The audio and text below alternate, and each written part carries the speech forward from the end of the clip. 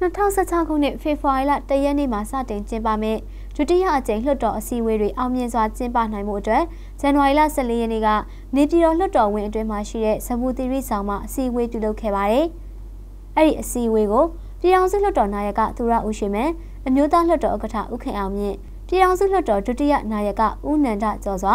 လက်ရှိအနိုင်ရပါတီဥက္ကဋ္ဌတရားဥပဒေစိုးမိုးရေးနဲ့တည်ငြိမ်အေးချမ်းရေးကော်မတီဥက္ကဋ္ဌဒေါအောင်ဆန်းစုကြည်နဲ့ကော်မတီဝင်တွေတက်ရောက်ခဲ့ကြပါတယ်။အစည်းအဝေးမှာသူရဦးရွှေမန်းကအဖွင့်အမှားစကားပြောကြားခဲ့ပြီးလာမယ့်လွှတ်တော်အသစ်လွှတ်တော်ခေါ်ယူကျင်းပတာနဲ့လှုပ်ဆောင်မဲ့လုပ်ငန်းအစီအစဉ်တွေမှာဖွဲ့စည်းပုံအခြေခံဥပဒေအပါအဝင်တည်ဆဲဥပဒေ၊နည်းဥပဒေတွေအရဆောင်ရွက်တာဖြစ်တယ်လို့ပြောကြားခဲ့ပါတယ်။ ဒါအပြင်ဆက်လက်လှုပ်ဆောင်ရမယ့်ကိစ္စတွေကိုလည်းဖွဲ့စည်းပုံအခြေခံဥပဒေနဲ့တည်ဆဲဥပဒေတွေအတိုင်းဆက်လက်ဆောင်ရွက်ရမှာဖြစ်တယ်လို့လည်းဆွေးနွေးခဲ့ပါတယ်။ဒုတိယအကြိမ်လွှတ်တော်အစည်းအဝေးကို